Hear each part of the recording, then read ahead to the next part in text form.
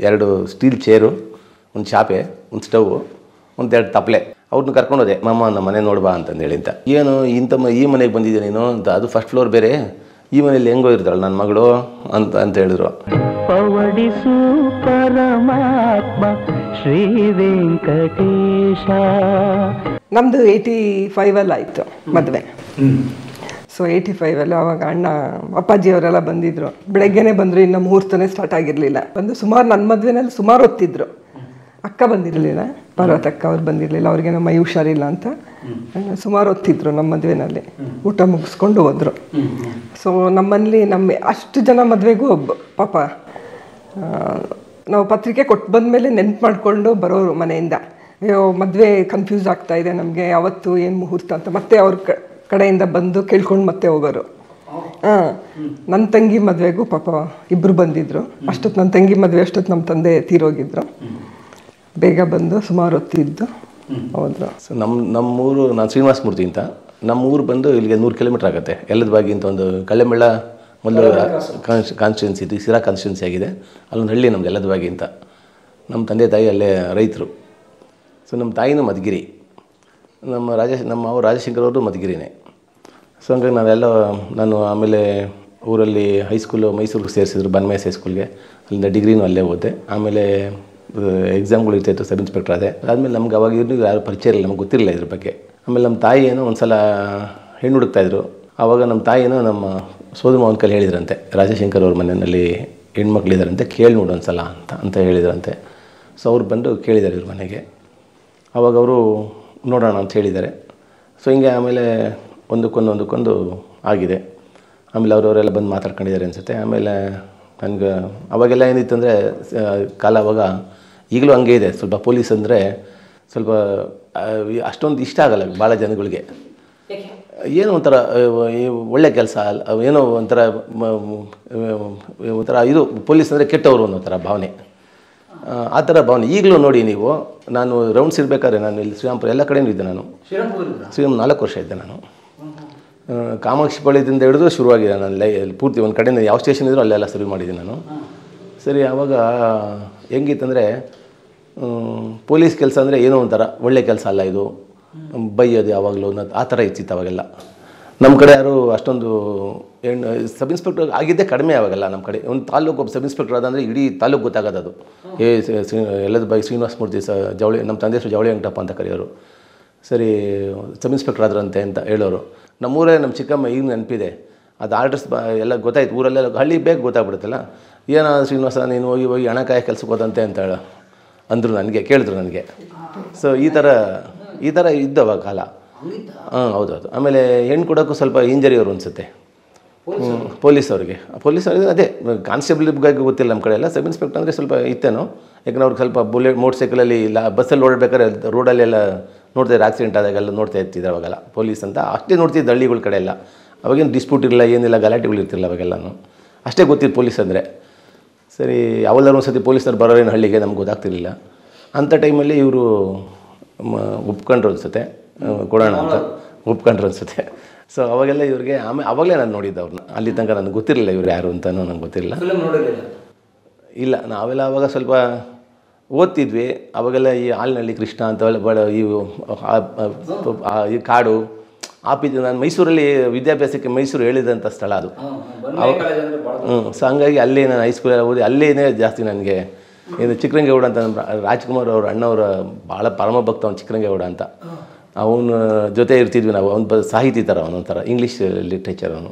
So ಅವ್ನ ಜೊತೆ ಸೇರ್ಕೊಂಡು ಬರೀ ಅಣ್ಣವ್ರ ಪಿಕ್ಚರ್ಗಳು ಅಂಥದ್ದೇ ಇದು ಎರಡು ಕನಸು. ಅಲ್ಲ ಅದರದೇ ಅವನು ಇದಾಗ್ಬಿಟ್ಟಿದ್ದ ಅವನು. ಒಂಥರ ಫ್ಯಾನ್ ಆಗ್ಬಿಟ್ಟು ಫುಲ್ ಫ್ಯಾನ್ ಆಗಿಬಿಟ್ಟಿದ್ದ. ಸೊ ಅದರ ಜೊತೆ ಇದ್ದಬ್ಗೆ ಈ ಬೇರೆ ಆ್ಯಕ್ಟ್ರುಗಳೇ ನಮ್ಗೆ ಗೊತ್ತಾಗ್ತಿರಲಿಲ್ಲ. ಅವಾಗೆಲ್ಲ ಅಲ್ಲಿ ಗಣೇಶನ ದೇವಸ್ಥಾನದಲ್ಲಿ ಮೈಸೂರಲ್ಲೆಲ್ಲನೂ ಪಿ ಬಿ ಶ್ರೀನಿವಾಸ್ ಎಸ್ ಜಾನಕಿಯವರೆಲ್ಲ ಗಣೇಶನ ದಿವಸ, ಗಣೇಶನ ಹಬ್ಬದ ಟೈಮಲ್ಲಿ ಕರೆಸೋರು. ಪಬ್ಲಿಕ್ಕಾಗಿ ಕರೆಸೋ ಹಾಡು ಹೇಳ್ಸೋರು. ಅವಾಗೆಲ್ಲ ಹೋಗ್ತಿದ್ವಿ ನಾವು ಅವಾಗ ಅದೇ ಅದೇ ಗುಂಗಿರ್ತಾಯಿತ್ತು ನಮಗೆಲ್ಲನೂ. ಸೊ ಹಂಗಾಗಿ ನಮ್ಗೆ ಬೇರೆ ಆ್ಯಕ್ಟ್ರುಗಳು ಅಂದರೆ ನೋಡ್ತಿದ್ವಿ ಪಿಕ್ಚರ್ ನೋಡ್ತಿದ್ವಿ ಬಟ್ ಸೆಲೆಕ್ಟಿವ್ ನೋಡ್ತಾ ಇದ್ವಿ. ರಾಜ್ಕುಮಾರ್ ಇದ್ದಾರೆ ಅಂದರೆ ಹೋಗ್ತಿದ್ವಿ, ಆ ಥರ ಇತ್ತು. ಸೊ ಆಮೇಲೆ ನೋಡಿದ್ವಿ, ನೋಡಿದಾಗ ಅವ ಇವಾಗಲೂ ನೋಡಿ ನೀವು, ಯಾರಾದರೂ ಅವ್ರ ಮನೇಲಿ ಊಟ ಮಾಡ್ತಾ ಇಲ್ಲ ಅಂತಂದರೆ ಮಕ್ಕಳಿಂದ ಎತ್ಕೊಂಡು ಊಟ ಮಾಡಿಸ್ತಾ ಇದ್ದರೆ ನೋಡಿ ಪೊಲೀಸ್ನವರು ಬಂದರು ನೋಡು, ಕೊಟ್ಬಿಡ್ತೀನಿ ನೋಡು, ಊಟ ಮಾಡು ಅನ್ನೋರು ಅಂತಾರೆ. ಆಮೇಲೆ ಎಲ್ಲರೂ ಮಾರ್ಕೆಟ್ಗೆ ಹೋದಾಗ ಯೂನಿಫಾರ್ಮಲ್ಲಿ ಹೋದ್ರೆ ನಾವು ಅಲ್ಲಿ ಮಾಲ್ಗೆ ಅಲ್ಲೆಲ್ಲ ಹೋದರೆ, ನೋಡಿ ಪೊಲೀಸ್ ಅಂಕಲ್ ಬಂದು ನೋಡಿ, ಗಲಾಟೆ ಮಾಡಬೇಡ, ಅದು ಕೇಳಬೇಡ ನೀನು ಕರ್ಕೊಂಡು ಹೋಗ್ತಾರೆ ನೋಡಿ ಯಾಕೆ ಬಂತು ನಿನಗೆ ಅಂತಾರೆ. ನಾನು ನಾನೇ ಹೇಳಿದ್ದೀನಿ, ಹಂಗೆಲ್ಲ ಯಾಕೆ ಎದುರಿಸ್ತೀರ ಇವಾಗಲಿಂದ ಪೊಲೀಸವ್ರು ಕಂಡ್ರೆ ನಿಮ್ಮಲ್ಲೇ ಆದರೂ ಪೊಲೀಸ್ ಆಗ್ಬೋದಲ್ವಾ ಅಂತ. ಇಂಥ ಸಿಚುವೇಶನ್ ಈಗಲೂ ಇದೆ. ಹಂಗಾಗಿ ಪೊಲೀಸ್ನವ್ರ ಬಗ್ಗೆ ಅಷ್ಟೊಂದು ಮೊನ್ನೆ ಒಂದು ಬ್ಯಾಂಕ್ ಹೋಗಿದ್ವಿ ನಾವು. ಆ ಬ್ಯಾಂಕಲ್ಲಿ ಆ ಮ್ಯಾನೇಜರು ಲೇಡಿ ಅವರು ಸ್ವಲ್ಪ ಒಂಥರ ಗಾಬರಿ ಗಾಬರಿಯಾಗಿ ಕೆಲಸ ಮಾಡ್ತಾಯಿದ್ರು ಏನಕ್ಕೆ ಗಾಬರಿಯಾಗಿ ಕೆಲಸ ಮಾಡ್ತಿದ್ರು ಅಂದರೆ, ಇಲ್ಲ ಸರ್, ನೀವು ಪೊಲೀಸ್ ಆಫೀಸರ್ ಸ್ವಲ್ಪ ಭಯ ಸರ್ ನನಗೆ ಅಂದರು. ಆಮೇಲೆ ನಾನೆಲ್ಲ ಹಿಂಗೆ ಎಲ್ಲ ಹುಡುಕಾಳ್ತಾ ಇದ್ದೆ. ಏನು ಹುಡುಕ್ತಾ ಇದ್ದೀರಾ? ಅಂತ ಇವ್ರು ಕೇಳಿದ್ರು. ಅಲ್ಲ ನಂತರ ಕತ್ತಿ ಅದು ಕದೆ ಗದೆ ಏನಾರು ಇದೆಯೋ ಅಂತ ಹುಡುಕ್ತಾ ಇದ್ದೀನಿ. ಮೈಸಾಸುರ ಅಂತಾರೆ ಏನಾದ್ರು ಇದೀನ ನಾನು ನೋಡೋಕ್ಕೆ ಅಂತ. ಅದಕ್ಕೆ ಇವರು ಏನೋ ಹೆದರ್ಕೊಂಡಿದ್ದಾರಲ್ಲ ಅಂತ. ಆಮೇಲೆ ನೋಡಮ್ಮ ನಿಮ್ಮ ಮನೇಲಿ ನಿಮ್ಮ ಯಜಮಾನ್ರೆ ಸಬ್ ಇನ್ಸ್ಪೆಕ್ಟರ್ ಆಗಿದ್ರೆ ಅದು ಪೊಲೀ ಐ ಎ ಸಿ ಪಿ ಆಗಿದ್ರೆ ಏನು ಮಾಡ್ತೀರಿ ನೀವು? ನಿಮ್ಮ ಅಣ್ಣನೋ ತಮ್ಮನೋ ಪೊಲೀಸ್ ಆಗಿದ್ರೆ ಏನು ಮಾಡ್ತೀರಿ ನೀವು ಅಂತ ಹಂಗೆಲ್ಲ ಮಾತು ಯಾಕೆ ಭಯ? ತಪ್ಪು ಮಾಡಿದರೆ ಭಯ ಬೀಳಬೇಕು. ಸುಮ್ಮ ಸುಮ್ಮನೆ ಯಾಕೆ ಭಯ ಬೀಳಬೇಕು ಅಂತೇಳಿ ಕನ್ವಿನ್ಸ್ ಇವರು ಇದ್ರು ಅವಾಗ. ಸೊ ಹಿಂಗೆ ಇವಾಗಲೂ ಅದು ಸಮಾಜ ಇನ್ನೂ ಬದಲಾಗಿಲ್ಲ. ಪೊಲೀಸ್ ಅಂತ ತಕ್ಷಣ ಏನೋ ಒಂಥರ. ಸೊ ಅಂಥ ಟೈಮಲ್ಲಿ ಇವರು ನಮಗೆ ಒಪ್ಕೊಂಡ್ರು. ಏನು ಹಿನ್ನೆಲೆ ಗೊತ್ತಿಲ್ಲ. ನನ್ನ ನಂದು ಅವ್ರಿಗೆ ಗೊತ್ತಿಲ್ಲ ಅವ್ರು ನಮಗೆ ಗೊತ್ತಿಲ್ಲ. ಬಟ್ ಏನು ಅದು ನಮ್ಮ ಹೋಗಿದ್ರಲ್ಲ ನಮ್ಮ ಸೋದರ ಮಗ ಅವರು ಹೇಳಿರ್ತಾರೆ. ನಮ್ಮ ಅಕ್ಕನ ಮಗ ಅಂತೆಲ್ಲ ಹೇಳಿರ್ತಾರೆ ಅನಿಸುತ್ತೆ. ಬಂದರು ನಮ್ಮೂರಿಗೆ ಒಂದ್ಸಲ ಬಂದರು. ಆವಾಗ ನಮ್ಮೂರಿಗೆಲ್ಲ ಕಾರ್ ಬರೋದಂದ್ರೆ ಏನು ಭಾಳ ದೊಡ್ಡ ಘಟನೆ ಅವಾಗ. ಸೊ ಕಾರಲ್ಲಿ ಬಂದರು ಅವಾಗ. ನಮ್ಮೂರ ಹತ್ರ ಒಂದು ಹಳ್ಳಿ ಅರಳಿ ಮರ ಇತ್ತು. ಅಲ್ಲಿ ಬಂದು ನಿಲ್ಸಿದ್ರು. ನಮಗೆ ಅವಾಗೆಲ್ಲ ಹಿಮಾಲಯನೇ ಪರ್ವತ ಬಂದಂಗೆ ನಮ್ಮೂರಿಗೆ ಅನ್ನೋ ಥರ. ಕಾರ್ ಬಂತು ನಮ್ಮನೆಗೆ ಹೆಣ್ಣು ಕೊಡೋರು ಬಂದಿದ್ದಾರೆ ಅನ್ನೋ ಥರ. ಬರ್ತಿತ್ತೇನೋ ಬಟ್ ನಮ್ಮ ಮನೆಗೆ ಬಂದು ಬರಬೇಕಲ್ಲ. ಯಾರ್ದೋ ಮನೆಗೆ ಬಂದು ನಮ್ಮ ಮನೆಗೆ ಬರೋದಕ್ಕೆ ವ್ಯತ್ಯಾಸ ಅಲ್ವಾ ಅದೇ. ಸರಿ, ಅವಾಗೇನು ಸ್ವಲ್ಪ ದೊಡ್ಡ ಸ್ಥಾನ ನಾನು ಸಬ್ ಇನ್ಸ್ಪೆಕ್ಟರ್ ಆಗಿದ್ದೆ ಅವಾಗಲೇ ಸರಿ, ಬಂದರು ಎಲ್ಲ ಇವ್ರ ತಾಯಿ ಮಗ ಅಕ್ಕ ಎಲ್ಲ ಬಂದಿದ್ರು ಎಲ್ಲ ಸೊ ಬಂದು ಒಂದು ಸಲ ಹೋದರು, ನಮ್ಮ ಮನೆಯಲ್ಲೆಲ್ಲ ಊಟ ಗೀಟ ಮಾಡ್ಕೊಂಡು ಹೋದರು. ಅದೇ ಫಸ್ಟ್ ನಾನು ಅವರು ಅವಾಗ ನೋಡಿದ್ದವ್ರನ್ನ ಆಮೇಲೆ ನಾವು ಯಾವ ಥರ ಆದ್ರಿಂದ, ಆಮೇಲೆ ಎಲ್ಲೋದರೂ ನಾನು ಕರ್ಕೊಂಡು ಹೋಗೋರು ಜೊತೆಗೆ. ನಾನೇ ಅವ್- ಅವ್ರ ಕಾರ್ ಡ್ರೈವರ್ ಆಗಿಬಿಟ್ಟಿದ್ದೆ ಆ ಥರ ನನಗೂ ಕಾರ್ ಓಡಿಸೋಕೆ ಹುಮ್ಮಸ್ ಅವಾಗ. ಸರಿ, ಆ ಥರ ನನ್ನ ಒಂಥರ ಫ್ರೆಂಡ್ ಥರ ಇಟ್ಕೊಂಡ್ಬಿಟ್ಟಿದ್ರು. ಯಾವತ್ತು ನಾವು ಇದ್ದಿದ್ದೆಲ್ಲ ಏನಾದ್ರು ಮಾಡಿ ಮಧುಗಿರಿಗೆ ಹೋಗುವ ಅಂತ ಬಾರೋ ಅಂತ ಕರೆ. ಎಲ್ಲ ಫ್ಯಾಮಿಲಿ ಜೊತೆ. ಯಾವ್ದು ಅವ್ರ ಮದುವೆಗಳಿಗೆ ಯಾವುದೆಲ್ಲ ಹೋದರೆ. ಬೇರೆ ಟೈಮಲ್ಲಿ ನನಗೆ ಡಿಸ್ಟರ್ಬ್ ಮಾಡ್ತಾರಲ್ಲ ಡ್ಯೂಟಿ ಇರೋದು ನನಗೆ ಅವಾಗ ನಾನು ಕೆಂಗೇರಿ ಕಟ್ಟಲಿದ್ದೆ ಅವಾಗ. ಮದುವೆ ಆಗಬೇಕಾದ್ರೆ. ಆಮೇಲೆ ಸ್ಟೇಷನ್ಗೂ ಬರೋರು. ಮಾತಾಡ್ಸ್ಕೊಂಡು ಹೋಗೋರು ಬಂದು. ಆಮೇಲೆ ಬೇರೆಯವರೆಲ್ಲ ಹೇಳೋರು.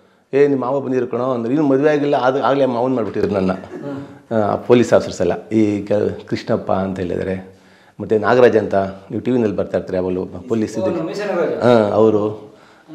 ಅವರೆಲ್ಲ ಅವರೆಲ್ಲ ಅವ್ರು ಅವರು ಅವೆಲ್ಲ ನಮ್ಮ ಸೀನಿಯರ್ಸ್ ಅವರೆಲ್ಲ. ಅವರೆಲ್ಲ ನಮ್ಮ ಗುರುಗಳಿದ್ದಂಗೆ ಅವರೆಲ್ಲ ಹಾಂ ಅವರು ಅಲ್ಲ ಅವ್ರು ಸ್ವಲ್ಪ ಇನ್ನೂ ಸೀನಿಯರ್ ಅವರು. ಇವರು ಜಾಸ್ತಿ ಸಿಗೋರು ನಮಗೆ. ಸೊ ಹಂಗಾಗಿ ಇವರೆಲ್ಲ ಮಲ್ಲೇಶ್ವರಂ ರಾಮಣ್ಣ ರಾಮಯ್ಯ ಅಂತ ಒಬ್ಬರಿದ್ದರು ಇವರೆಲ್ಲ ಕೇಳೋರು ಏ ಶ್ರೀನಿವಾಸ ನಿಮ್ಮ ಮಾವ ಬಂದಿರ್ಕೊಂಡು ತುಂಬ ಒಳ್ಳೆ ಮನುಷ್ಯರು ಅವ್ರ ಮಗಳು ಮದುವೆ ಮಾಡ್ಕೊತಿದ್ಯಂತೆ ಅಂತೇಳಿ ಹೇಳೋರು. ಈಗಲೂ ಸಹ ನನ್ನ ಆಫೀಸರ್ಸು ನಿಮ್ಮ ಕಲಾ ಮಾಧ್ಯಮದೊಂದು ಕ್ಲಿಪ್ಪಿಂಗ್ ನೋಡಿ ನನಗೆ ಫೋನ್ ಮಾಡ್ತಾರೆ. ಏ ನಿಮ್ಮ ಅವ್ರದ್ದು ಇದು ಬಂದಿದ್ಯಪ್ಪ. ನೋಡ್ದ ಅಂತೇಳಿ ಸುಮಾರು ನನಗೆ ವಾಟ್ಸಪ್ಗೆ ಹಾಕಿದ್ದಾರೆ ಎಲ್ಲರೂ ಬೇರೆಯವರು ಸಹ ಹೌದು ಹೌದು. ಫೋನ್ ಮಾಡ್ತಾರೆ ನನಗೆ ನೋಡಿದ್ಯಾ ನೀನು ನೋಡು. ನೀನು ನೋಡಿಲ್ಲ ನೋಡು ಅಂತಾರೆ. ಆಮೇಲೆ ಅದು ಪಿಕ್ಚರ್ ಬಂದುಬಿಟ್ಟೆ ರಾಜಶೇಖರ್ ಏನು ನೀವು ಅವ್ನು ಪಿಕ್ಚರ್ ಬಂದಿತ್ತಪ್ಪ ನೋಡ್ತಾ ಇದೆಯಾನೋ ಅಂತಾರೆ ಕೆಲವರು. ನೋಡಿ ಇಂಥ ಚಾನಲ್ ಬರ್ತಾಯಿದೆ ಅಂತಾರೆ. ಇಲ್ಲಾಂದರೆ ನೀನು ನೋಡಿ ಈ ಪಿಕ್ಚರ್ ನೋಡು ಬಂದಿತ್ತು ನೀನು ನೋಡಲಿಲ್ವಾ ಅಂತಾರೆ. ನಂಗೆ ಒಂಥರ ಅನಿಸುತ್ತೆ ಛೇ ನಾನು ಏನಪ್ಪ ಇಂಥ ಕೆಲಸ ಮಾಡಿದೆ ನೋಡಲಿಲ್ವಲ್ಲ ಅಂತ ಅನಿಸುತ್ತೆ. ಸೊ ಆಗ ಈಗಲೂ ಏಯ್ಟಿ ಪರ್ಸೆಂಟು ಆಫೀಸರ್ಸ್ ನನಗೆ ನನಗೆ ಪರಿಚಯ ಇರೋರು. ರಾಜಶೇಖರ್ ಅವ್ರ ಅಳಿ ಅಂತಲೇ ಗುರುತಿಸ್ಕೊಳ್ತಾರೆ. ಇನ್ನು ಸ್ವಲ್ಪ ಜನ ಪೊಲೀಸ್ ಆಫೀಸರ್ ಅಂತ ಗುರುತಿಸ್ಕೊಳ್ತಾರೆ. ಸೊ ಹಿಂಗಾಗಿ ಅವ್ರ ಅವ್ರ ಜೊತೆ ಆ ಥರ ಇತ್ತು. ಮತ್ತು ನಮಗೆ ಆವಾಗ ಸಬ್ ಇನ್ಸ್ಪೆಕ್ಟರ್ ಆದಾಗ ಇವರು ವಿಚಾರಿಸಿದ್ರೆ. ಬಟ್ ಒಳ್ಳೆ ಪರಿಚಯ ಇತ್ತು ಇವ್ರಿಗೆ. ಅರ್ಲಂಕರ್ ಸಾಹೇಬ್ ಇದ್ರು ಅವಾಗ, ಕಮಿಷನರ್ ಆಗಿದ್ರು ಅವಾಗ. ಹೌದೌದು. ಅವಾಗ ಇದ್ರು, ಮತ್ತು ಗರುಡಾಚಾರ್ ಸಾಹೇಬ್ ಇದ್ರು, ಡಿ ಜಿ ಇದ್ರು, ಡಿ ಜಿ ಇದ್ರು ಅವರು ಸೊ ಅವಾಗೆಲ್ಲ, ಅವರೆಲ್ಲ ಪರಿಚಯ ಇತ್ತು ಅನ್ಸುತ್ತೆ ತಿಳ್ಕೊಂಡಿದ್ರು ಏನೋ ನಮ್ಗೆ ಗೊತ್ತಿಲ್ಲ ಅದ್ರ ಬಗ್ಗೆ. ಯಾಕೆ ನಾವೇನು ವಿಚಾರಿಸಿಲ್ಲ. ನಮಗೂ ನಮಗೂ ಗೊತ್ತಿಲ್ಲ ಇವ್ರು. ಯಾರು ಯಾರೊಂದು ಸುಮ್ಮನೆ ಬರೋರು ಒಂದು ಒಳ್ಳೆ ಯಾವಾಗಲೂ ಡ್ರೆಸ್ ಮಾಡ್ಕೊಂಡು ಒಳ್ಳೆ ಒಂಥರ ದೊಡ್ಡ ರಾಜಕಾರಣಿ ಥರ ಇರೋರು ಯಾರು ಯಾವಾಗಲೂ ಸೊ ಅವರು ನಡೆಯೋದೇ ಒಂಥರ ಬಟ್ಟೆ ಕ್ರೇಜ್ ಯಾವಾಗಲೂ ಹಿಂಗೆ ಓಡಾಡ್ಕೊಂಡು ಹೋದ್ರೆ ಭಾಳ ಟಿ ವಿ ಟಿ ವಿಯಿಂದ ನಡೆಯೋರು ಯಾವಾಗಲೂ. ಗಂಭೀರ. ನಡೆಯೋರು. ಅದು ನೋಡಿದ್ರೆ ಎಂಥವ್ರಿಗೂ ಗೌರವ ಬರೋದು ಅವಾಗ. ಒಂಥರ ಭಯ ಆಗ್ತಿರಲಿಲ್ಲ ಒಂಥರ ಗೌರವ ಎಲ್ಲ ನಗು ಮುಖ ಮಾಡ್ಕೊಂಡು ನಡೆಯೋ ನಡೆಯೋರು. ಸೊ ಅದನ್ನೆಲ್ಲ ನೋಡಿ ನನಗೆ ಒಂಥರ ಹೆಮ್ಮೆ ಅನ್ಸೋದು ಅವಾಗೆಲ್ಲ. ಸೊ ದಾರಿಲಿ ಒಂದು ಸತಿ ಹೋಗುವಾಗ ನಾನು ನೋಡೋರು ಡ್ಯೂಟಿ ಆವಾಗ ನಾನು ಕಬ್ಬನ್ ಪಾರ್ಕ್ ಹೋದೆ ಆಮೇಲೆ ಮದುವೆ ಆದಮೇಲೆ ಕಬ್ಬನ್ ಪಾರ್ಕ್ ಟ್ರಾನ್ಸ್ಫರ್ ಮಾಡಿಸ್ಕೊಂಡೆ. ಆವಾಗ ಅಲ್ಲೆಲ್ಲ ನೋಡ್ತಾ ಇದ್ದೆ ಪ್ರೆಸ್ ಕ್ಲಬ್ ಹತ್ರ ಎಲ್ಲ ಈಗಲೂ ನೆನಪಿದೆ. ಕಾರಲ್ಲಿ ಬರ್ತಾಯಿರೋ ಅವರು ಈವನ್ ಅವ್ರು ಎಷ್ಟು ಮಟ್ಟಿಗಿದ್ರು ಅಂದರೆ ನಿಲ್ಸು ಸಹ ಮಾತಾಡ್ತಿರಲಿಲ್ಲ ಯಾರ್ದು ನಂದು ಇರ್ತಿದ್ದೆ ಆ, ಏನು ಇಲ್ಲಿದೆಯಾ ಅಂತ ಆಗಲಿ ಏನು ಕೇಳ್ಬೋದಾಗಿತ್ತಲ್ಲ ಯಾವತ್ತೂ ಹಂಗೆ ಇಂಟ್ರೆಸ್ಟ್ ಆದವರಲ್ಲ ನಮ್ಮ ಕೆಲಸದ ಬಗ್ಗೆ. ಮತ್ತು ಬೇರೆಯವ್ರ ಬಗ್ಗೆ ಯಾವೆಲ್ಲ ಅಂತ ಬಂದಿದ್ದಾನೆ ನಿನ್ನ ಹತ್ರ ಮಾತಾಡ್ಸು ಅಂತಾಗಲಿ ಅಥವಾ ಸ್ವಲ್ಪ ಸಹಾಯ ಮಾಡಬೇಕಲ್ಲ ಅಂತಾಗಲಿ ಅವರು ನಮ್ಮ ಕಡೆ ಯಾವತ್ತೂ ಹೇಳಿಲ್ಲ ಅವರು. ಸೊ ಹಂಗೆ ಯಾವತ್ತು ಮಿಸ್ಯೂಸ್ ಮಾಡ್ಕೊಂಡಿಲ್ಲ ನಮ್ಮ ಸರ್ವಿಸ್ನ ಸ್ವಂತ ವ್ಯಕ್ತಿ. ಒಂದು ಘಟನೆ ಅಂದರೆ ನಾನು ಮದುವೆ ಆದಾಗ ಮದುವೆ ಆಯಿತು ನನಗೆ ಅವಾಗ ಕ್ವಾರ್ಟರ್ಸ್ ಇರಲಿಲ್ಲ. ಮದುವೆ ಮನೆ ಮಾಡಬೇಕಾಗಿ ಬಂತು ಕ್ವಾರ್ಟರ್ಸ್ ಇರಲಿಲ್ಲ. ಅವಾಗ ನಾನೇನು ಮಾಡಿದೆ ಹೆಂಗಾದ್ರು ಮನೆ ತೊಗೊಳ್ಬೇಕಲ್ಲ ಅಂತ ಆನಂದ್ರ ಸರ್ಕಲ್ ಕ್ವಾರ್ಟರ್ಸ್ ಅಲರ್ಟ್ ಮಾಡಿಸ್ಕೊಂಡೆ. ಆವಾಗ ಬಂದರು ನಮ್ಮ ನಮ್ಮ ಮನೆ ಹಾಲು ಕುಸೋಣ ಅಂತ ಬಂದ್ವಿ ನಾವು ಅವಾಗ. ಅವಾಗೇನು ಒಂದು ಎರಡು ಸ್ಟೀಲ್ ಚೇರು ಒಂದು ಚಾಪೆ ಒಂದು ಸ್ಟವ್ ಒಂದು ಎರಡು ತಪ್ಪಲೆ ಅಷ್ಟೇ. ಏನು ಅವಾಗೆಲ್ಲ ಒಂಥರ ಭಾಳ ಮಾರಲ್ ಫಿಯರ್ ಸರ್ ನಮಗೆಲ್ಲ ತುಂಬ ಎದುರುಕೊಳ್ತಿದ್ವಿ ಸಮಾಜಕ್ಕೆಲ್ಲ. ಏನು ಅಂದ್ಕೊಳ್ತಾರೋ ಏನೋ ಅನ್ನೋ ಥರ. ಓದ್ವಿ ಚಾಪೆ ಅದೆಲ್ಲ ತೊಗೊಂಡು ಹೋದ್ವಿ. ಸಾಯಂಕಾಲ ಇಷ್ಟೊತ್ತಲ್ಲಿ ಓದ್ವಿ ಇಲ್ಲೇ ವಾನಂದ್ರ ಸರ್ಕಲ್ ಕ್ವಾರ್ಟರ್ಸ್ಗೆ ಅವ್ರನ್ನ ಕರ್ಕೊಂಡು ಹೋದೆ ಮಾಮ ನಮ್ಮ ಮನೆ ನೋಡ್ಬಾ ಅಂತಂದೇಳಿ ಅಂತ. ಹೋಗಿ ಹಾಲೆಲ್ಲ ಉಗ್ಸಿದ್ವಿ. ಏನು ಇಂಥ ಮ ಈ ಮನೆಗೆ ಬಂದಿದ್ದೆ ನೀನು? ಅಂತ ಅದು ಫಸ್ಟ್ ಫ್ಲೋರ್ ಬೇರೆ. ಈ ಮನೇಲಿ ಹೆಂಗೋ ಇರ್ತಾಳೆ ನನ್ನ ಮಗಳು ಅಂತ ಅಂತ ಹೇಳಿದ್ರು. ಏನೋ ಸ್ವಲ್ಪ ಸೀರನ್ ಬೇರೆ ಮಾಮ ಆಮೇಲೆ ಎಲ್ಲೂ ಕ್ವಾರ್ಟರ್ಸ್ ಖಾಲಿ ಇಲ್ಲ ಅಂತಂದರೆ ಏ, ಬ್ಯಾಡ ನಮ್ಮಲ್ಲಿ ಇರುವಂತೆ ಬಾರ, ಸದ್ಯಕ್ಕೆ ಈಗ ಅಂತೇಳಿ ಅದು ಎಲ್ಲ ಮಾತಾಡ್ಕೊಂಡ್ರು ಅಷ್ಟೇ. ಆಮೇಲೆ ಬಿಡು, ಹೇಳ್ತಾರೆ, ಆಮೇಲೆ ನೋಡೋಣ ಅಂತ ಸುಮ್ಮನಿದ್ದೆ ನಾನು. ಆಮೇಲೆ ಬೀಗ ಹಾಕೊಂಡು ಬಂದವನು, ನಾನು ಹೋಗೋಕ್ಕೆ ಬಿಡಲಿಲ್ಲ. ತಿರ್ಗಾ ಮನೆಗೆ, ತಿರ್ಗಿ ಅಲ್ಲೇ ಚೇರು, ಚಾಪೆ ಎಲ್ಲ ಅಲ್ಲೇ ಉಳ್ಕೊಂತು. ಎಲ್ಲ ಅಲ್ಲೇ ಉಳೀತು ಸೊ, ಅಂಥವ್ರು ಅವರು. ಆಮೇಲೆ ನನಗೆ ಮದುವೆ ಆದಮೇಲೆ ಮದುವೆಲೆಲ್ಲ ಚೆನ್ನಾಗಿ ಮಾಡಿಕೊಟ್ರು. ಏನಿಲ್ಲ ಸರ್. ಅವಾಗೇನು ಇಲ್ಲ ಸರ್. ನಾನು ಖಂಡಿತ ಯಾ- ಆ ಥರ ಇಲ್ಲ. ನನಗೆ ಇದು ನಮ್ಮ ತಂದೆ ತಾಯಿನೂ ಆ ಥರ ನಮಗೆ ಅದು- ಅದ್ರ ಬಗ್ಗೆ ಗಮನ ಏನಿಲ್ಲ. ದೇವರ ಏನೂ ಇಲ್ಲ. ಏನಿಲ್ಲ ನಾನು ಏನು ತೊಗೊಂಡಿಲ್ಲ ಸರ್. ನಿಜ ಹೇಳ್ಬೇಕಂದ್ರೆ ಅವರು ಅದೇ ಅದೇ ನೀವು ಆ ಇನ್ಸಿಡೆಂಟ್ ಹೇಳ್ಬೇಕಂದ್ರೆ ಮದುವೆಗೆ ಅವಾಗೆಲ್ಲ ಊರಿಂದ ಹಳ್ಳಿಯಿಂದ ಜನ ಕರ್ಕೊಂಬರ್ಬೇಕು ಬಸ್ ಮಾಡಬೇಕು. ಅವಾಗ ನಾನು ಸ್ವಲ್ಪ ಹೆದರ್ದೆ. ಹೆಂಗಪ್ಪ ಖರ್ಚಾಗುತ್ತೆ, ಒಂದು ಇಪ್ಪತ್ತು, ಇಪ್ಪತ್ತೈದು ಸಾವಿರ ಖರ್ಚಾಗುತ್ತೆ, ಬಸ್ ಮಾಡಬೇಕು, ನಾವೆಲ್ಲ ಬಟ್ಟೆ ಹೊಲಿಸ್ಕೊಳ್ಬೇಕು, ಹಾಗೆ, ಹೀಗೆ ಅಂತೆಲ್ಲ ನಾನು. ಆವಾಗ ನಾವು ಯಾವತ್ತೂ ಇವ್ರು, ನಾವು ಇವ್, ಇವರಿಂದ ಕೇಳೋದು ಅಂತೆಲ್ಲ ನಮಗೆ ಬ, ನಮ್ಗೆ ತಲೆಗೆ ಬಂದೇ ಇಲ್ಲ. ಮದುವೆಯಲ್ಲೇ ಪೋಸ್ಟ್ ಮಾಡೋದು ಮಾಡಬೇಕು, ಅವಾಗ ಬರ್ನಾಡ್ ಅಂತ ಅಂತ ನಮ್ಮ ಜೊತೆ ಸಬ್ ಇನ್ಸ್ಪೆಕ್ಟರ್ ಇದ್ರು, ಕಂಗರಿಘಟ್ಟಲ್ಲಿ. ಅವರು ಮತ್ತು ನಾನು ವೆಂಕಟಸ್ವಾಮಿ ಅಂತ ಒಬ್ಬರು ಸಬ್ ಇನ್ಸ್ಪೆಕ್ಟರ್, ಆಮೇಲೆ ಒಟ್ಟಿಗೆ ಮೂರು ಜನ ಸಬ್ ಇನ್ಸ್ಪೆಕ್ಟರ್ ಇದ್ದರು ಕೆಂಗರಿಘಟ್ಟಲ್ಲಿ. ಆವಾಗ ಸರ್ ನಿಮ್ಮ ಕೈಲಿ ಆಗಲ್ಲ ಇವಾಗ ಮದುವೆ ಮಾಡೋಕ್ಕೆ. ದುಡ್ಡೇ ಇಲ್ಲ ನನ್ನ ಹತ್ರ ಹದಿನೈದು ಇಪ್ಪತ್ತು ಸಾವಿರ ರೂಪಾಯಿ ದುಡ್ಡು ಬೇಕು, ಅವಾಗ ನನಗೆ ಎಲ್ಲಿಂದ ತರೋಣ ಯಾರು ಸಾಲ ಕೊಡಲ್ಲ ಹಂಗಿದೆ ಬರ್ನಾಡ್ ಬೈದರು, ಏಯ್ ಎಂಥ ದೊಡ್ಡ ಮನುಷ್ಯರವರು ಸ್ಟೇಷನಿಗೆ ಬರ್ತಾರೆ, ಇಲ್ಲೆಲ್ಲ ಎಷ್ಟು ಜನ ಮಾತಾಡಿಸ್ತಾರೆ, ಅಂಥವ್ರು ನಾನು ಮಗಳನ್ನ ಮದುವೆ ಮಾಡ್ಕೊತಾ ಇದ್ದೆ ನೀನು, ಮದುವೆ ಪೋಸ್ಟ್ಪೋನ್ ಮಾಡ್ತೀಯ? ಎಷ್ಟು ಧೈರ್ಯ ನಿನಗೆ? ಹೊಡೆದ್ಬಿಡ್ತೀನಿ ನೋಡಿ ನಿನಗೆ ಅಂತೇಳಿ ಗದರಿ ಅವಾಗ ಅವ್ರಿಗೆ ಹೇಳಿದರು. ಹಿಂಗೆ ಒಬ್ರಿಗೆ ಬದಾಗಿ, ಸರ್, ನಾಗರಾಜ್ ಅವರು, ಮತ್ತು ಇವರೆಲ್ಲ, ಎಲ್ಲರೂ ನಾನು ತಗೊಳ್ಳೋ ಮದುವೆ ಮಾಡ್ಕೊಳ್ಳೋ ಅಂತ ಒಂದು ಮೂರು ಸಾವಿರ ಐದು ಸಾವಿರ. ಈ ಥರ ಎಲ್ಲ ಎಲ್ಲರೂ ಕಾಂಟ್ರಿಬ್ಯೂಟ್ ಮಾಡಿಬಿಟ್ರು ಎಲ್ಲರೂ. ಸರಿ ಹೌದು ಸರ್ ಇದೆಲ್ಲ ನಿಜಾನೇ. ಸರಿ. ಹೌದು ಸರ್. ಆ ಥರ ಮದುವೆ ನಾನು ವರದಕ್ಷಿಣೆ ಎಲ್ಲ ಇದು ಮಾಡಲಿಲ್ಲ. ಸರಿ ಆ ಮದುವೆ ಹಾಗೆ ಆವಾಗ ಬಸ್ ಮಾಡಿಲಿಂದ ಒಬ್ಬರು ಸ್ನೇಹಿತರು ಇದ್ದರು ಅವರು ಜಿ ಕೆ ವಿಕೆನಲ್ಲಿ ಬಸ್ ಕೊಡಿಸಿದ್ರು. ಜಿ ಕೆ ವಿಕೆ ಬಸ್ ಬಂತು. ಜಿ ಕೆ ವಿಕೆ ಹೌದು ಕಾಲೇಜ್ ಬಸ್ ಕಳಿಸಿದ್ರು. ಸೊ ಹಿಂಗೆ ಅವಾಗ ಸ್ನೇಹ ಅವಾಗೆಲ್ಲ ನಂಗೆ ಆವಾಗಲಿಂದ ನನ್ನ ಫ್ರೆಂಡ್ಶಿಪ್ ಹೆಂಗೆ ಅನ್ನೋದ್ರ ಅದ್ರ ಬೆಲೆ ಗೊತ್ತಾಗಿದ್ದು ನನಗೆ ಎಲ್ಲಿ ಸಹಾಯ ಮಾಡ್ತಾರೆ ನನಗೆ ಅಂತ. ಸೊ ಈ ಸಹಾಯ ನನಗೆ ಹೆಂಗೆ ನೋಡಿ ನಾವು ದೇವರು ನಮಗೆ ನಾವೆಲ್ಲ ಸ್ವಲ್ಪ ದೇವ್ರ ಭಕ್ತಿ ಸಾಯಿಬಾಬನ ಭಕ್ತರು. ಹೆಂಗೆ ನನಗೆ ಹೆಲ್ಪ್ ಆಯಿತು ಅಂದರೆ ನಮ್ಮ ತಂಗಿ ಮದುವೆ ಆಯಿತು. ಇದನ್ನು I P S officer Revanna ಅಂತ. ನಿಮ್ಮ ಬ್ರದರ್ ಇಲ್ಲ ನಮ್ಮ ತಂಗಿ ಗಂಡ. ಅವ್ರ ಮದುವೆನೂ ಅವರು ಹಂಗೆ ಮಾಡಿಕೊಂಡು ಭಾಳ ಸಿಂಪಲ್ಲಾಗಿ ಅವರು ಡೈರೆಕ್ಟ್ ಡಿ ಎಸ್ ಪಿ ಆಗಿ ಸೆಲೆಕ್ಷನ್ ಆಗಿದ್ದು ಐ ಜಿ ಆಗಿ ರಿಟೈರ್ಡ್ ಆದರು. ಅವರು ಅದೇ ಥರನೇ ಮಾಡ್ಕೊಂಡು ನಮ್ಗೆ ಯಾವ ತೊಂದರೆನೂ ಕೊಡಲಿಲ್ಲ. ನೀವು ಏನೂ ತಲೆ ಕೆಡಿಸ್ಕೋಬೇಡಿ. ಮದುವೆ ಮಾಡಿ ಅಷ್ಟೇ ಸಾಕು ನನಗೆ. ನೀವು ಯಾವುದು ಏನು ಕೊಡಬೇಕು ಅದು ಅಂತ ತಲೆನೇ ಕೆಡಿಸ್ಕೊಬೇಡಿ ಅಂತೇಳಿ ಹಂಗೆ ಅಷ್ಟು ಸಿಂಪಲ್ಲಾಗಿ ಮದುವೆ ಮಾಡ್ಕೊಂಡ್ರು. ಇಲ್ಲ ನಮ್ಮ ಕೈಯಲ್ಲಿ ಮದುವೆ ಮಾಡೋಕೆ ಇಲ್ಲ, ಅವಾಗೆಲ್ಲ ಡಿ ಎಸ್ ಪಿ ಅಂದರೆ ಕೆಲವರು ಎದುರಿಸ್ತಾ ಇದ್ರು, ಅಯ್ಯೋ ಕಾರ್ ಕೊಟ್ರಂತೆ ಸೈಟ್ ಕೊಟ್ರು ಅಂತೇಳಿ ನೀವು ಏನೂ ಇಲ್ಲ. ವೆರಿ ಸಿಂಪಲ್ ಒಂದು ಹಳ್ಳಿನೆಲ್ಲ ಮದುವೆ ಮಾಡ್ಕೊಂಡ್ರು, ಅದೇ ಥರ ಮದುವೆ ಮಾಡಿಕೊಟ್ಟು ಇದು ನಾನು ನಾನು ಮಾಡ್ಕೊಂಡಿದ್ದು ಇದಕ್ಕೆ ನನ್ನ ತಂಗಿಗೆ ಅದು ಎಫೆಕ್ಟ್ ಆಯಿತು. ಸೊ ಆಮೇಲೆ ಅರ್ಲಂಕರ್ ಸಾಹೇಬ್ರಿಗೆ ಹೇಳಿದ್ವಿ ನಾನು, ಮದುವೆ ಆದಮೇಲೆ ಮನೆ ಬೇಕಾಯ್ತು ಅದು ಈ ಮನೆ ಇತ್ತಲ್ಲ, ಆಮೇಲೆ ಹೋಗಿ ಒಂದು ಸಲ ಏನು ಮಾಡಿದೆ ಗಮಿಸ್ ಇವರು ಏನು ಗಂಡ್ಬಿಟ್ರಲ್ಲ ಏ ಆ ಮನೆಗೆ ಏನು ಹೋಗ್ತೀಯ? ಅಂತ. ಹೋಗಿ ಅರ್ಲಂಕರ್ ಸಾಹೇಬ್ರು ಕೇಳಿದೆ ಹೋಗಿ ಸರ್ ಮನೆ ಇದಕ್ಕೆ ಕೊನೆಗೆ ಸುರೇಶ್ ಬಾಬು ಅಂತ ಇದ್ದರು ಗೊತ್ತಿರಬೇಕು ಅವರೆಲ್ಲ. ಅಡಿಷನಲ್ ಅವರು D C P headquarters ಆಗಿದ್ದರು ಸುರೇಶ್ ಬಾಬು ಶ್ರೀನಿವಾಸ ಮೂರ್ತಿ ಮನೆ ಒಂದು ಮದುವೆ ಮನೆ ಕೊಡಬೇಕಲ್ಲ ಮದುವೆ ಆಗಿದೆ ಅವ್ರಿಗೆ. ಮೊನ್ನೆ ಹೋಗಿದ್ದೆ ನಾನು ರಾಜಶೇಖರ್ ಅವರು ಹಳಿ ಆಗ್ಬಿಟ್ಟಿದ್ದೀನಿ ಇವಾಗ. ಅಂತೇಳಿ ಮನೆ ಕೊಡಬೇಕಲ್ಲ ಅಂದ್ರೆ ಆವಾಗ ಇನ್ನೊಬ್ಬರು ಒಂದು ಮನೆ ಖಾಲಿ ವಸಂತ ನಗರದಲ್ಲಿ ಒಂದು ಖಾಲಿ ಆಗ್ತಿತ್ತು ಮನೆ. ಅದು ಖಾಲಿ ಮಾಡಿಸಿ ಅವ್ರು ಯಾರೂ ಇರಲಿಲ್ಲ ಅಂತೇಳಿ ಆ ಮನೆ ನನಗೆ ಅಲರ್ಟ್ ಮಾಡಿಕೊಟ್ರು. ಆಮೇಲೆ ಅದಕ್ಕೆ ಶಿಫ್ಟ್ ಮಾಡಿದ್ವಿ ನಾವು ಆ ಮನೆಗೆ ಸೆಕೆಂಡ್ ವಸಂತ ನಗರ ಕ್ವಾರ್ಟರ್ಸ್ಗೆ ಹಿಂಗೆ ಇವರು ಇಂಡೈರೆಕ್ಟಾಗಿ ನನಗೆ ಈ ಥರ ಹೆಲ್ಪ್ ಆಯಿತು. ರಾಜಶಂಕರ್ ಅವರು ಅಂದರೆ ನಾನೇನು ಯಾವತ್ತೂ ಇವ್ರನ್ನ ಕರ್ಕೊಂಡೋಗಿ ಮಾಮ ಹೇಳ್ಬಾ ನನಗೆ. ಅರ್ಲಂಕರ್ ಅವ್ರು ಹೇಳ್ಬಾ ಅಂತ ನಾನು ಯಾವತ್ತೂ ಹೇಳಿಲ್ಲ. ಬಟ್ ಅವ್ರಿಗೊಂದು ಒಂದು ರೆಕಗ್ನಿಷನ್ ಇತ್ತು ಅಂತ ಕಾಣುತ್ತೆ ಅವ್ರಿಗೆ. ಇತ್ತು ಇತ್ತು. ಸೊ ರಾಜಶಂಕರ್ ಅವ್ರು ಹೇಳಿ ಅಂತ. ಅಂದರೆ ಸ್ವಲ್ಪ ಒಂದು ಇತ್ತು ಅವ್ರಿಗೆ ಒಂದು ಗೌರವ ಇತ್ತು ಅಂತ ಕಾಣ್ತದೆ. ಸೊ ಅಷ್ಟು ಅದೊಂದು ನನಗೆ ಘಟನೆ. ಸಲ ಹೇಳ್ಬಿಟ್ಟು ಹೋಗೋರು ಮೂರುವರೆ ನಾಲ್ಕು ಗಂಟೆಗೆ ಬಂದು ಹೇಳ್ಬಿಟ್ಟು ಹೋಗೋರು. ನಾನು ಐದುವರೆ ಆರು ಗಂಟೆ ಹಿಂಗೆ ಹೋಗಿವೆ. ಹೋದರೆ ಬಾರೋ ಅಂತೇಳಿ ಹೋಗಿ ಒಳಗಡೆ ತಿಂಡಿ ತಿನ್ನೋಗು ಹೋಗು ಅಂತ ಹೇಳೋರು ಸರಿ ಪೂರಿ ಪಲ್ಯ ಜಾಸ್ತಿ ಮಾಡ್ತಾಯಿರೋರು ಮನೆಯಲ್ಲಿ. ಸರಿ ಹೋದರೆ ಇವರು ಕೊಟ್ಬಿಟ್ಟು ಓಡೋಗ್ಬಿಡೋರು ಆಚೆಗೆ. ನಾನು ಒಂದು ಮೂ ಒಂದು ಮೂರು ಪೂರಿ ಒಂದಿಷ್ಟು ಪಲ್ಯ ಚಟ್ನಿಯಲ್ಲಿ ಇಟ್ಬಿಟ್ಟು ಓಡೋಗ್ಬಿಡೋರು. ನಾನು ಅದು ತಿಂದ್ಬಿಟ್ಟು ಕುತ್ಕೊಂಡಿರ್ತಿದ್ದೆ ಇನ್ನೇನು ಹೆಂಗೆ ಕೇಳೋದು ಯಾರು ಇಲ್ವಲ್ಲ ಅಂತ ಹೇಳ್ಬಿಟ್ಟು. ಏನ್- ಅಲ್ಲೇ ಬಾಗಲ್ ಮರಿ ನೋಡೋರೇನೋ ನಂಗೆ ತಲೆ ಎತ್ತು ನೋಡೋಕ್ಕೂ ಭಯ ಏನು ಅನ್ಕೊಂತಾರೋ ಏನೋ ಅಂತ ಹೇಳ್ಬಿಡ್ತಾ. ಸೊ ಆ ಥರ ಹಂಗೆ ಆಮೇಲೆ ಇವರು ಯಾವಾಗಲೂ ಅನಿಸುತ್ತೆ ಅವ್ರು ಹೇಳೋರು ಅಂತ ಕಾಣ್ತಾರೆ ತಾಯಿ ಹೋಗಿ ಕೇಳೋಗಿ ಏನೋ ಅಂತ ಹೇಳ್ಬಿಟ್ಟಂತ ಸೊ ಅವಾಗ ಹಿಂಗೆ ಬಂದಾಗ ಸ್ವಲ್ಪ ಕೂಡ ಅವಾಗಿಂದ ಪಿ ಸೆಕೆಂಡ್ ಇಯರ್ ಪಿ ನಾನು ಮೋಟರ್ ಸೈಕಲ್ ಕರ್ಕೊಂಡೋಗಿ ಬಿಡ್ತಾ ಇದ್ದೆ ಇವ್ರನ್ನ. ಬುಲೆಟ್ ಇತ್ತು ಅವಾಗೆಲ್ಲ ಬುಲೆಟ್ ಕಾಲ ಅವಾಗೆಲ್ಲನೂ. ಬುಲೆಟ್ ಹೌದು.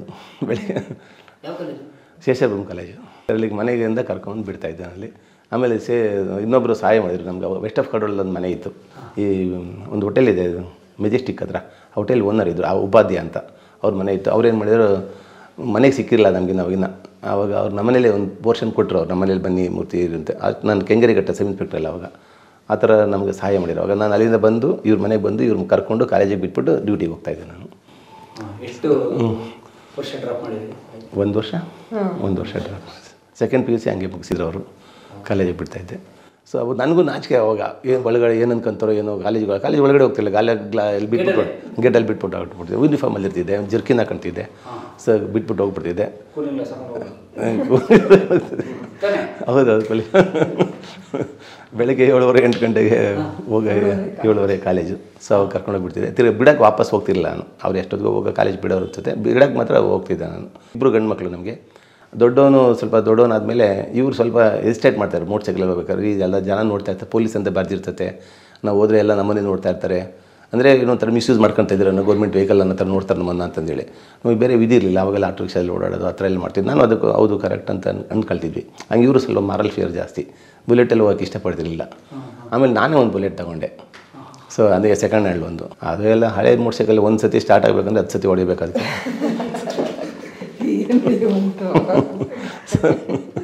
ಸರಿ ಅಂತ ಇರ್ತಿದ್ದು ಬಟ್ ಇದ್ರೊಳಗೆ ಯಾಕಂದ್ರೆ ಅದು ಜಾಸ್ತಿ ಉಪಯೋಗಿಸ್ತಿದ್ದೆ ಜಾಸ್ತಿ ಡಿಪಾರ್ಟ್ಮೆಂಟೇ ಉಪಯೋಗಿಸ್ತಿದ್ವಲ್ಲ ನಿಂತಿರೋದು ಯಾವಾಗಲೂ ಮನೆಯಲ್ಲಿ.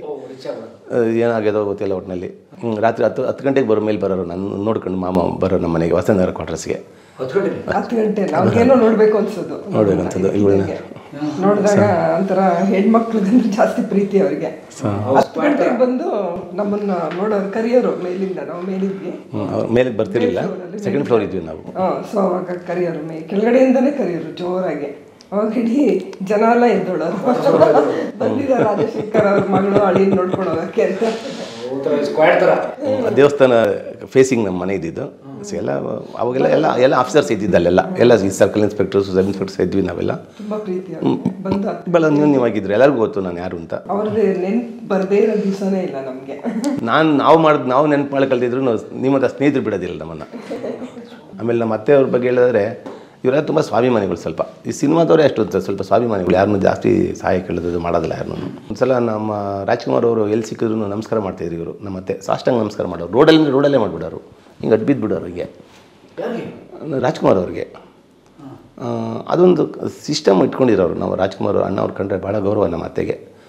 ಸರಿ ಅಡ್ಬಿದ್ರು ನಮ್ಮ ಮಾವರು ಇರಲಿಲ್ಲ ಅವಾಗ ಆವಾಗ ಏನತ್ತೆ ನೀನು? ನಾನು ಯೂನಿಫಾರ್ಮಲ್ಲಿ ಇರ್ತೀನಿ ಇದ್ದೆ ಒಂದು ಸಲ ನೆನಪು ನನಗೆ. ಏನತ್ತೆ ನೀನು ರೋಡಲ್ಲೆಲ್ಲ ಎಲ್ಲಂದ್ರೆ ಅಲ್ಲೇ ಅಡ್ ಬಿದ್ದುಬಿಡ್ತೀನಿ ನೀನು ನಮಸ್ಕಾರ ಮಾಡ್ತೀನಿ ನೀನು ಅಂತ ಮನೆಗೆ ಬಂದ ಮೇಲೆ ಕೇಳಿದೆ.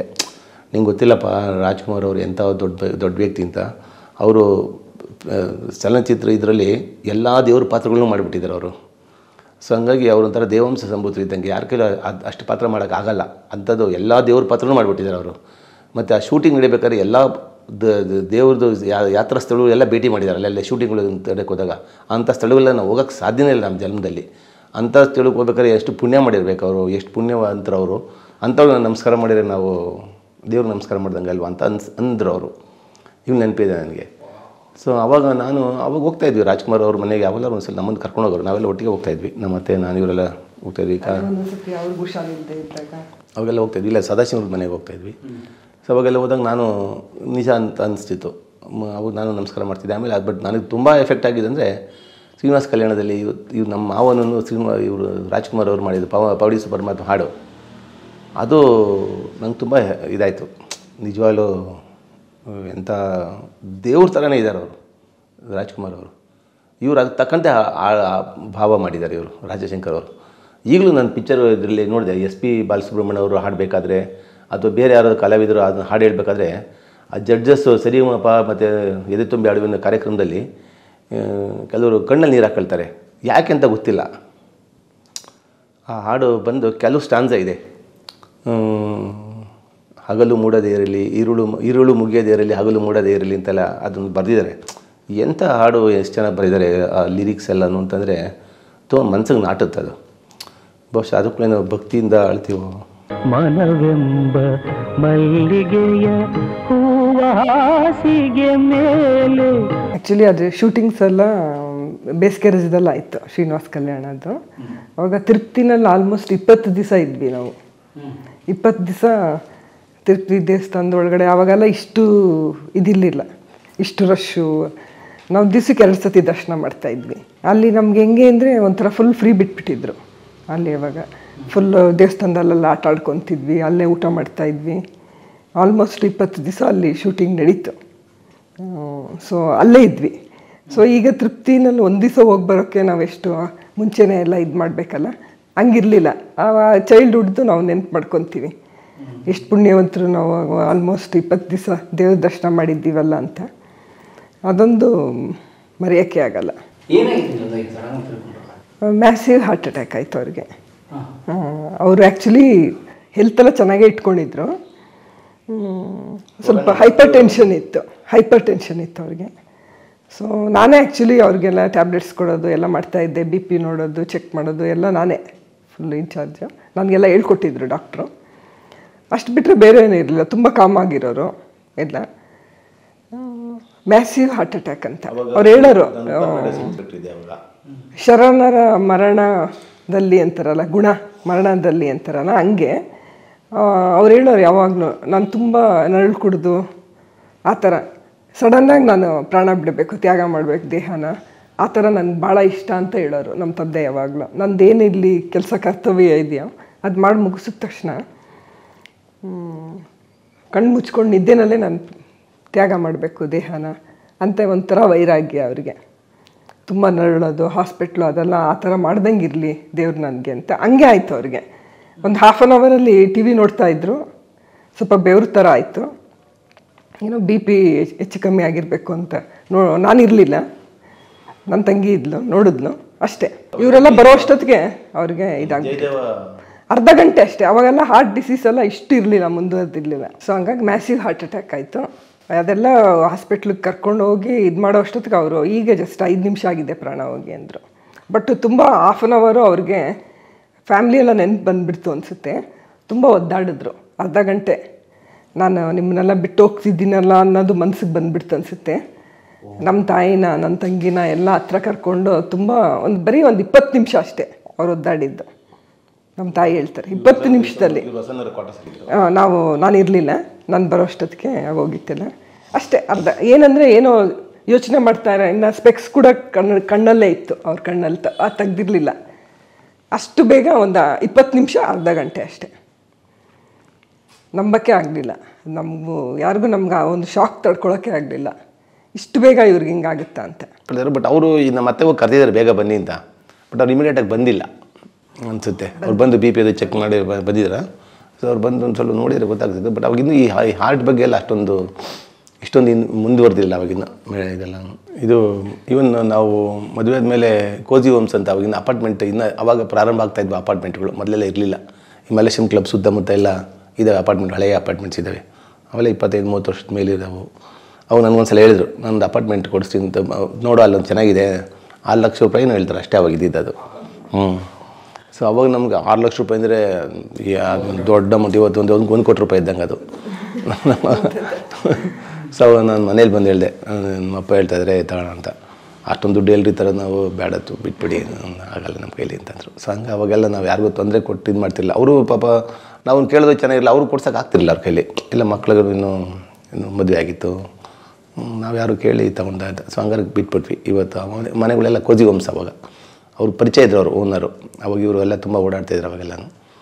ಸೊ ಯಾವಾಗಲೂ ಅವ್ರ ಜೊತೆ ಇರೋರು ಯಾವಾಗಲೂ, ಅದು ಗೊತ್ತಿತ್ತು ನನಗೆ, ಅವ್ರು ತುಂಬ ಪರಿಚಯ ಇದ್ದಾರೆ ಅಂತ. ಬಟ್ ನಾವು ಕೇಳಿದ್ರೆ ಸ್ವಲ್ಪ ಕನ್ಸೆಷನ್ ಕೊಡೋರೇನು, ಅಷ್ಟೊಂದು ದುಡ್ಡು ಇರ್ತಿಲ್ಲ ಅವಾಗೆಲ್ಲ ಲೋನು ಕೊಡ್ತಾರಲ್ಲ ಬ್ಯಾಂಕ್ ಅವಾಗ ನಾನು ಇವನ್ ಮನೆ ಮಾಡಬೇಕಾದ್ರೆ ನಾನು ಕೈಗಾರಿಕೆ ಕಟ್ಸಿ ಕೆನರಾ ಬ್ಯಾಂಕ್ ಹೋಗಿದ್ದೆ ಒಂದು ಸಲ ಅವರು ಮನೆಗೆ ಅಡ್ವಾನ್ಸ್ ಕೊಡೋಕೆ ದುಡ್ಡು ಬೇಕಲ್ಲ.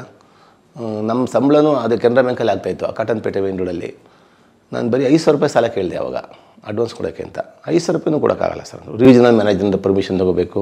ಹಾಗೆ ಹೀಗೆ ಅಂತ ಏನೋ ಪ್ರ ಇದನ್ನು ಹೇಳಿದ್ರು ಅವರು. ಅಂತ ಏನೇನೋ ಪ್ರೊಸೀಜರ್ ಹೇಳೋರು.